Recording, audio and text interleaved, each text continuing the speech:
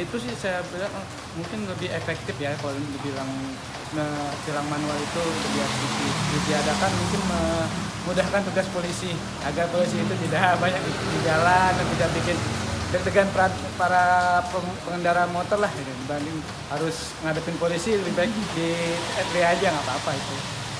Tanggapannya sih ya bagus lebih efisien aja.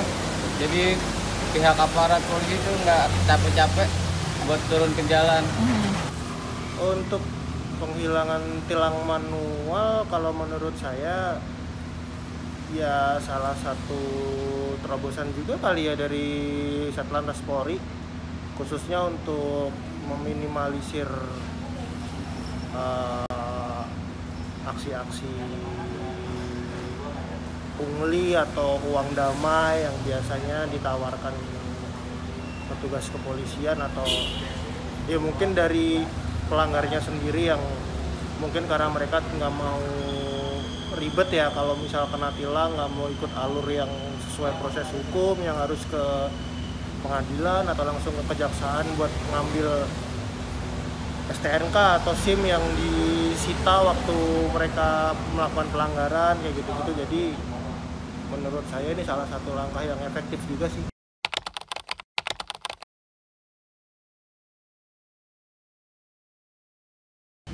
Kalau dibilang uh, teratur sih mungkin kesadaran masing-masing beda orang ya. Tapi kalau kesadaran orang untuk yang sekarang sih mayoritas belum belum punya kesadaran. Mm-hmm. jadi kadang-kadang anggapnya nggak ada yang namanya apa bilang elektrik jadi kayak robos lampu merah atau gimana pasti masih wajar masih maksudnya masih ada gitu karena belum terbiasa aja sih cuma kalau misalnya ada yang dibilang orang-orang kan tahu-taunya pas lagi bayar pajak ya hmm. kalau pas bayar pajak hmm. baru surat tilangnya ada e, kelihatan ya keluar pembayaran pajaknya kan waktu bayar pajak e, pembayaran tilangnya kelihatan baru kelihatan hmm. ya kalau untuk kayak gini sih sebenarnya sih nanti ke depannya pasti pasti bagus cuman untuk yang sekarang kan karena rakyat Indonesia nya belum uh, belum punya kesadaran sendiri gitu kan. Mm-hmm. jadi ya kayak gitu sih. Kebanyakan masih banyak yang terlanggar uh, kalau untuk itu sih saya akuin mungkin makin menurun kesadaran masyarakat karena mm-hmm. dengan ketidakadaan polisi di jalan itu masyarakat ya kayak lampu merah ya terobos saja. Selamat tidak ada RD itu di atas di, uh, di lampu merah itu nggak ada kamera RD-nya itu mungkin itu aja sih kekurangannya. Kesadaran masyarakat lebih meningkat. Lebih meningkatnya jadi lebih sadar. Kalau di jalanan tuh lebih banyak kamera jadi dia nggak berani macem-macem tanpa adanya aparat. Tapi pernah abang pernah lihat nggak ada beberapa orang-orang yang masih kayak nerobos lampu merah terus kayak nggak pakai helm dan sebagainya itu gimana bang? Masih banyak, cuman lebih berkurang aja sih semenjak adanya etilang ini. Ah, lebih berkurang ya? Iya. Kalau sepengalaman saya ya karena dengan adanya etilang ini kan di titik-titik yang biasanya dijaga petugas kan jadi fungsinya digantikan ke kamera pengawas ya.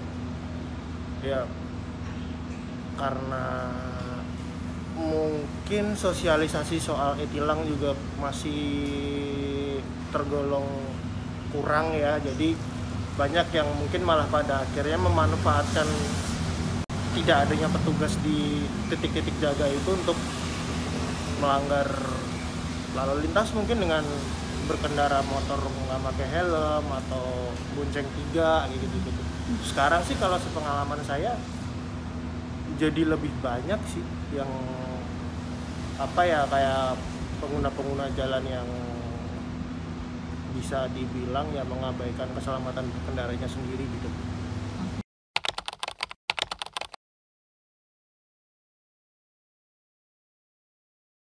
Uh, kalau misalnya tilang dilepas uh, lebih bagus.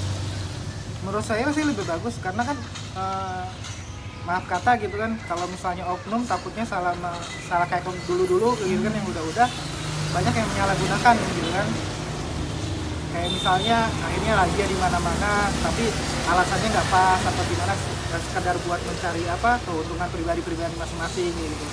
Jadi kan kalau misalnya kayak gini kan lebih bagus dan dari oknum supaya nggak menyalahgunakan wewenangnya gitu. Nah, berarti abang sendiri setuju ya setuju. adanya e-tilang. Ini siap abang terima kasih. Kenapa alasannya? Karena mungkin kita lebih pasti ya untuk mem- membayar eh, tilang denda tilang itu kita harus langsung ke kas negara itu masuk ke kas negara dan ya sudah rahasia umum lah kalau polisi itu bisa kita ajak damai oke siap. Abang setuju aja sih. Alasannya gimana? Alasannya ya lebih hati-hati lagi di jalan. Mhm. karena nggak ada polisi tapi banyak kamera. Itu aja.